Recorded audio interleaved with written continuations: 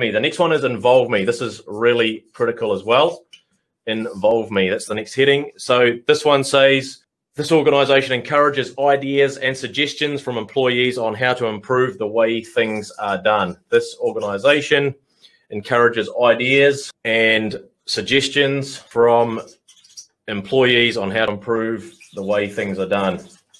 From employees on how to improve the way things are done. How to improve, hope you can see that okay, the way things are done. Looks more like Egyptian hieroglyphics, but anyway, hopefully you can see that okay. So again, super, super important stuff. Like I keep saying, the information you're going to get out of this survey, again, you're going to get a weighted score. So you get a score for the whole business. It might be 70%, it might be 71, it might be 50, whatever. And then you'll get a score for each question as well. So straight away, you're going to expose the weak points in your business that you need to focus on. Um, it might be a bunch of questions under lead me. It might be a bunch of questions under involve me. Really, really powerful stuff. Communication in this organization is open and honest. Communication in this business.